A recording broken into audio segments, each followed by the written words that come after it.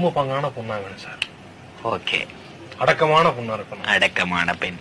நான் வந்து எது சொன்னாலும் எதிர்த்து பேசக்கூடாது. எதிர்த்து பேசக்கூடாது. நல்ல கை நிறைய சம்பாதிக்கிற பொண்ணா கை நிறைய சம்பாதிக்கணும். ஆமா சார். நல்ல வேலைக்கு போகணும். அதாவது நல்ல வேலைக்கு போகணும். ஆமா சார். நல்லா படிச்சிருக்கணும் சார். படிச்சிருக்கணும் படிப்பறிவு. இருக்கணும். படிப்பறிவு இருக்கணும். பொது அறிவு இருக்கணும். பொது அறிவு இருக்கணும். பண்பு இருக்கணும். பண்பு இருக்கணும். என்னை வந்து கண்கலங்காம பாத்துக்கணும் உண்மைய அந்த பொண்ணு கண் கலங்காம பாத்துக்கணும் ஆமா சார். அப்படி ஒரு பெண்ணை தான் நான் வந்து அப்படி ஒரு பெண்ணை நீங்க எதிர்பார்க்கறீங்க.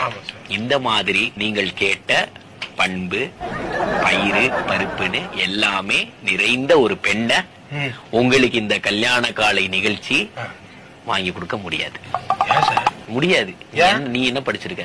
நான் படிச்சிருக்கேன் மூணாம் கிளாஸ் மூணாம் கிளாஸ் படிச்சுட்டு உனக்கு படிச்ச பண்புள்ள பயிற்சி பெற்ற நல்ல கம்பெனில வேலை பார்க்கிற கை நிறைய சம்பாதிக்கிற பொண்ணு வேணும். ஆமா அப்பதான் நான் கண்கலாம இருக்க முடியும். செருப்பு பிஞ்சிரும்.